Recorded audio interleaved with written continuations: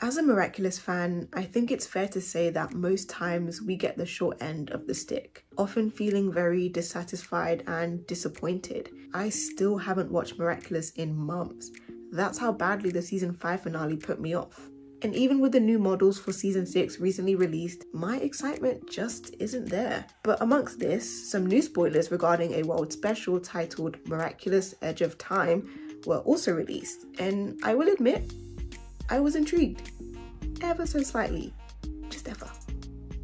Okay, fine. I was intrigued by a lot, but not for the reasons you think. You see, I don't think anything can redeem the god awful season 5 finale. I think the damage has been done. So when I saw that a new special was announced, and given that the specials so far have been great, like those slap, I'm always sat for those. I did wonder why? Why are the Miraculous specials significantly better than the main series? After all, it's literally the same creative team, right? Hey everyone, welcome or welcome back to my channel. It's the one and only, your girl, the Cartoon Hotspot. And in today's video, I'm going to be delving into the possible reasons as to why the Miraculous specials are of a higher writing quality than the main series. If you're interested in my thoughts, then feel free to subscribe, give this video a thumbs up, and click that bell button for post notifications. Without further ado, let's begin. Reason 1. Miraculous works better with long form content. So here's an unpopular opinion. Miraculous did not need 5 seasons. now hold on, hold on, hold on before you jump me. Oh my gosh, oh my gosh, oh my gosh, oh my gosh. Now everybody's ganging up against me. For what? Realistically, the first narrative arc could have been wrapped up in three seasons, four if we really push it. The reason I say this is because it's very obvious that the writers do not do well with pacing. In fact, they suck at it. Miraculous has a huge pacing problem, and that's an understatement. You can excuse it for the first two seasons because those are what I like to call the setup seasons, but by season three, which I refer to as the turning point season, the pacing issue is hard to ignore. In fact, it's almost distracting. There are a number of issues that bad pacing can cause. To list some of them off, inconsistent character development. When a character seems to be making progress and then for some reason ends up back in square one without learning anything, without growing, and and basically being the same person as they started.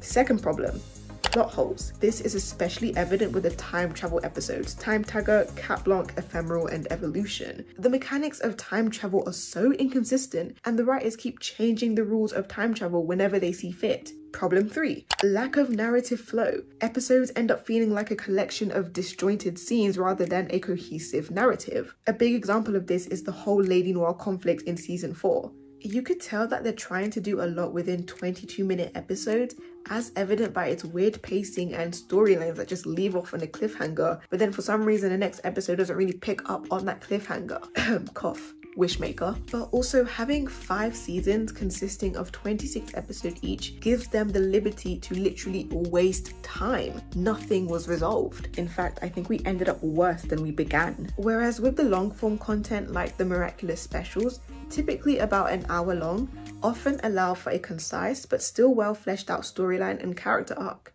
Think of the Shanghai special, for example, the in-depth conflict involving Fei and how it also connected somewhat to Marinette trying to reconnect with her Chinese heritage the New York special, which showed us how Jessica and Aeon were trying to prove themselves as future heroes to their parents, and the Paris special, where we saw a parallel version of Marinette and Adrien that opened us up to Marinette's struggles and how she's maturing to finally love and appreciate herself, and Adrien acknowledging his struggles with his mother's death. That kind of development doesn't really feel like it would be possible within 22 minute episodes, despite the fact that there's five seasons worth of content, which once again speaks to the incredible time wasting the show does compared to the specials. There's also the fact that the format of the specials allows for a tighter cinematic approach, aka the typical three act structure. For those who don't know what the three act structure is, Act 1 is the setup. In other words, basically it sets up the world, the characters, the goals, as well as the obstacles that the characters may face. Act 2 is the confrontation where the stakes are increased. And Act 3 is the resolution whereby the character achieves their goal or fails.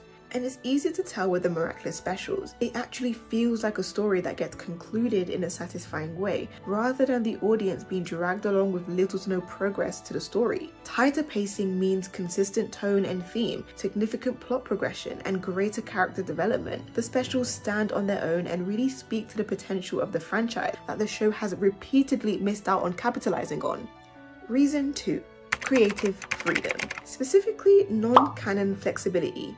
This is something the specials maximize on especially. Being non-canon, the specials can explore bold and creative storylines without being restricted by the continuity of the main series. This freedom often allows for innovative and experimental narratives that can captivate the audience. I mean, I'm pretty sure the Miraculous Ladybug fandom saw a massive increase after the New York special, and I mean massive. Because the specials are non-canon, the writers have the liberty to take risks, and for the most part, I'd say they pay off. The New York special was the first time we saw what was basically an on-screen death, allowing us to fully grapple with the fact that Cat Noir's cataclysm is not to be joked with. The Paris special is the closest we'll ever get to an akumatized version of Marinette, because the series clearly has no interest in doing that. But hey, close enough. If I have to settle for parallel Marinette, I'll take what I can get. If I'm being honest, I'm not too sure what to expect from Miraculous Edge of Time. I'm already on the fence with time travel in Miraculous because it's just way too messy and from the looks of it, I think the special might be the closest to canon we'll ever get. I'm willing to bet the special is going to be an alternative timeline where Adrien finds out the truth about his father, but then something goes wrong and Ladybug and Bunnix have to fix the timeline because the writers are just yelling in our faces at this point and trying to justify the season 5 finale. But then again, I could be wrong. I really hope I I am because I spent the entire video praising the specials, so please, Miraculous Edge of Time, do not let me down. But those are my thoughts and now I'm interested to hear yours. What do you think of the Miraculous World specials? Any predictions or theories for Miraculous Edge of Time? Let me know down in the comments. But as for today, that's it from me and I'll see you again next time.